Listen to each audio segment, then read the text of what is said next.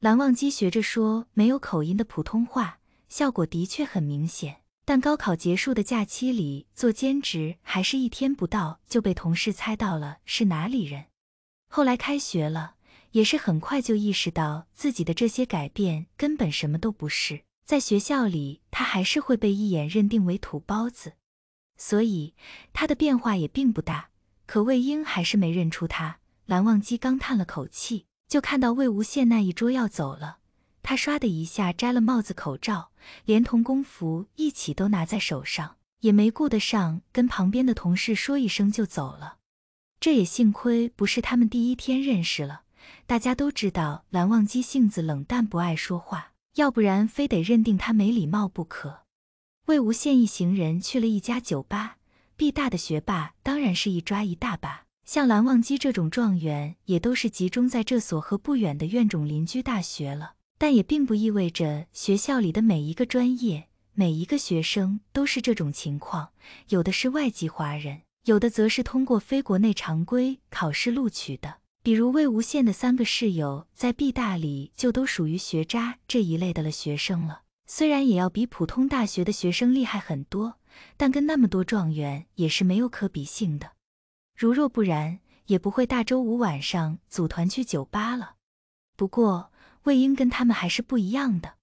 蓝忘机坚定地认为，除非对方当年骗了他，而且哪怕魏婴骗了他，蓝忘机也会认定是善意的谎言。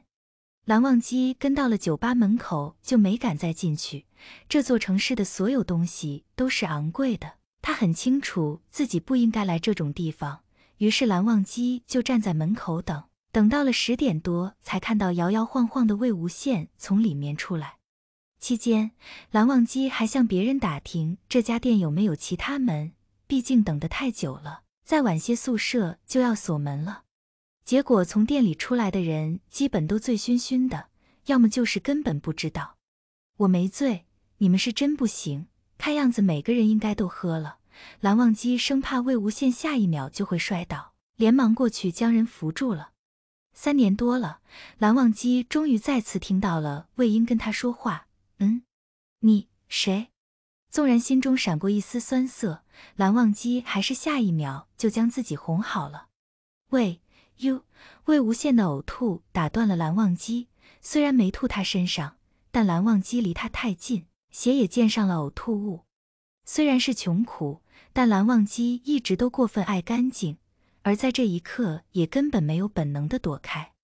旁边就是水吧，蓝忘机连忙去买了瓶水，拧开盖子送到了魏无羡的嘴边。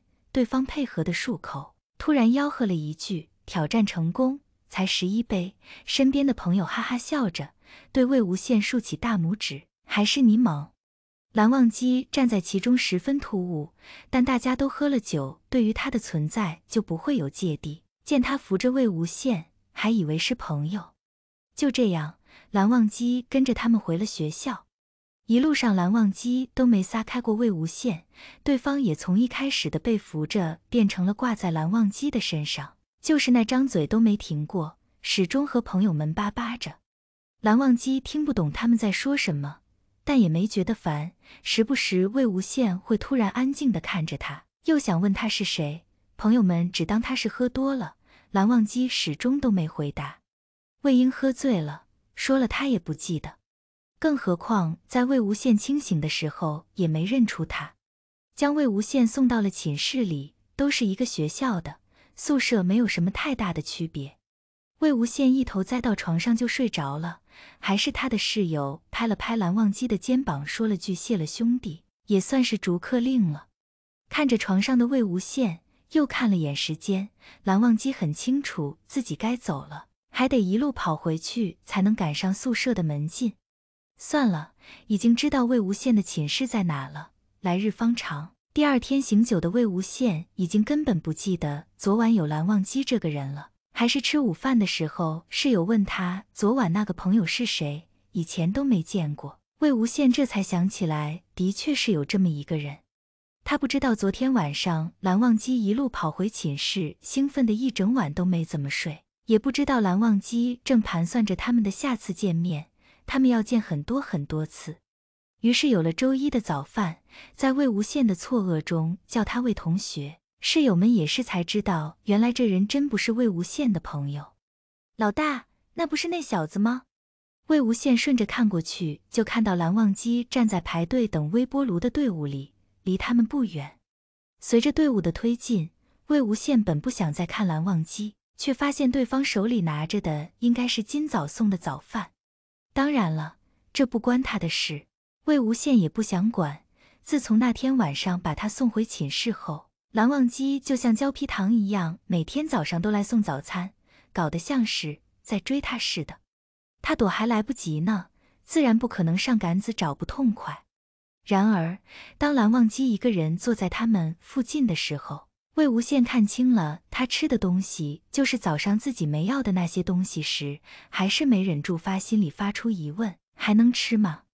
蓝忘机是背对着他们坐下的，所以没看到魏无羡。如若不然，他一定会因为魏无羡在看自己而感到欢喜。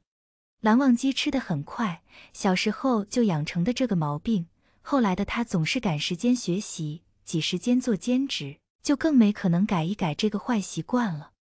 魏无羡意识到蓝忘机收拾好餐盘准备倒掉，本能的扭头看了一眼距离他们最近的餐盘回收机，心想坏了。下一秒，转过身来的蓝忘机看到了他。不知道是不是魏无羡的错觉，他在蓝忘机的那张脸上竟然看到了微妙的笑意。魏同学，好巧！其他三个闷头干饭的室友默契的憋着笑。魏无羡瞬间拉下了脸，敷衍道：“哦，真巧。”蓝忘机端着餐盘就一直站在魏无羡的旁边，眼睛亮亮的。一看就根本不注意打理的头发，整整齐齐的趴在脑袋上，也就这张脸能勉强撑起这种发型。怎么现在还有男大学生留这种头发的？先忍不住的是魏无羡，若是他不开口，恐怕蓝忘机能一直站在他这，还站着干嘛？我这不回收餐具。